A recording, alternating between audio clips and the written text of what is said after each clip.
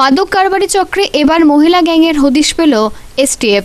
সোমবার রাতে মাদক কারবারি দুই মহিলা সহ তিনজনকে মালদা টাউন স্টেশন থেকে গ্রেপ্তার করেছে স্পেশাল টাস্ক ফোর্স কর্তারা।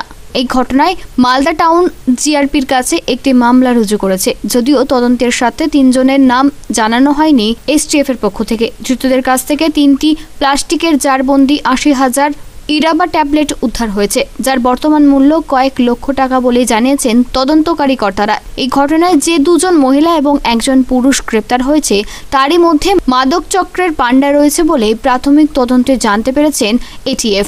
ধৃতদের মধ্যে দুজনের বাড়ি নদিয়া জেলায় এবং একজনের বাড়ি মুর্শিদাবাদ জেলায়। মালদা টাউন স্টেশন জিআরপি এবং একটি সূত্রে জানা গিয়েছে, এত বিপুল পরিমাণে ইরাবা ট্যাবলেট মালদা থেকে সীমান্তের ওপরে পাচার করার পরিকল্পনা ছিল ধৃত মাদক কারবারিদের।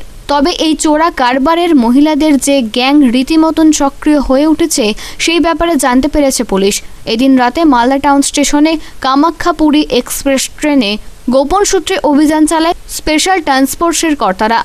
ওই ট্রেনের একটি সংরক্ষিত কামরা থেকেই ইয়ারাবা ট্যাবলেট সহ তিনজনকে হাতে নাতে গ্রেপ্তার করে এটিএফ। জেলা পুলিশ ও এটিএফ এর তরফ থেকে এই মুহূর্তে গ্রেপ্তার হওয়া তিন মাদক কারবারির নাম জানানো হয়নি। পুরো বিষয়টি নিয়ে তদন্ত শুরু করেছে পুলিশ। মাদা থেকে দেবসিংহের রিপোর্ট, আনন্দ বার্তা।